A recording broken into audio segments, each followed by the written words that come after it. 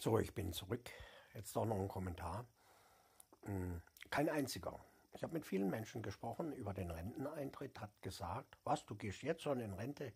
Kein einziger mit 64. Ähm, das hat keiner gesagt. Also hier, wie manche fordern, die selber überhaupt sehr viel Vermögen und Einkommen haben, die gar nicht äh, praktisch äh, richtig arbeiten müssen für ihr Geld.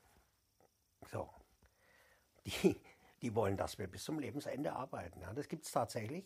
Solche politischen Kreise, die werden ja auch gewählt. Aber ich bin anderer Meinung. Es gibt auch mal was anderes im Leben, nicht nur immer das Gleiche. Ich habe ja beim gleichen Arbeitgeber 33 Jahre lang fast immer das Gleiche gemacht ne, oder fast das Gleiche oder ähnliches.